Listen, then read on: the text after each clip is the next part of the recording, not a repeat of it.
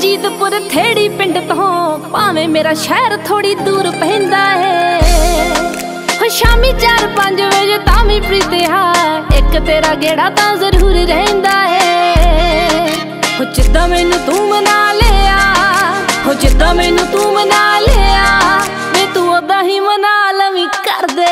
ਵੈਸੇ ਮਾਣ ਤੇਰਾ ਕਰਨਾ ਵੀ ਬਣਦਾ ਹੈ, ਪਸੰਦ ਤੇਰੀ ਉੱਤੇ ਲੱਖਾਂ ਮਰਦੇ। ਵੈਸੇ ਮਾਣ ਤੇਰਾ ਕਰਨਾ ਵੀ ਬਣਦਾ